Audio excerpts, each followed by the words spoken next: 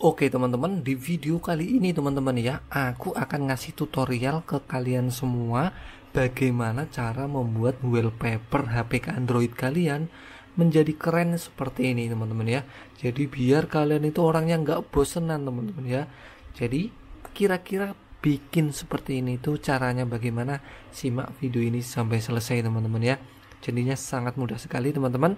Oke teman-teman awalnya wallpaper aku seperti ini ya wallpaper android aku. Jadi belum aku rubah. Nah untuk mengubahnya kita mudah banget teman-teman. Di sini kita tinggal masuk ke aplikasi tiktok aja.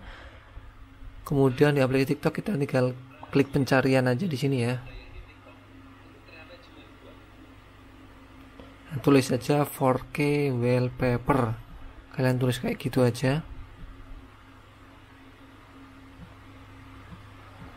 4K wallpaper Nah kalian bisa cari sesuai dengan keinginan teman-teman ya. Karena aku milihnya yang ini Maka tinggal aku klik aja. Nah kemudian kalian klik yang ikon arah ke kanan atau bagikan ini. Ya, Kemudian kita pilih yang paling bawah. Atur sebagai wallpaper. Nah seperti ini. Tinggal kita klik aja atur sebagai wallpaper. Klik style wallpaper. Nah kita pilih ini. Saya pilih yang layar utama aja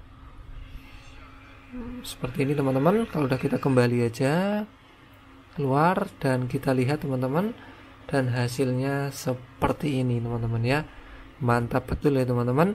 Dan biasanya kalau kalian nanti sebelum menerapkan ini biasanya disuruh menginstal pluginnya dulu teman-teman ya. Plugin supaya bisa membuat wallpaper dari TikTok itu biasanya biasanya kalian disuruh menginstal plugin atau aplikasi lah ya bahasanya di wallpaper TikTok ini. Biasanya kita disuruh menginstal aplikasi ini. Ya teman-teman nanti silahkan kalian coba aja. Kalau mau diaktifkan suaranya juga bisa kalau enggak juga enggak apa-apa teman-teman ya.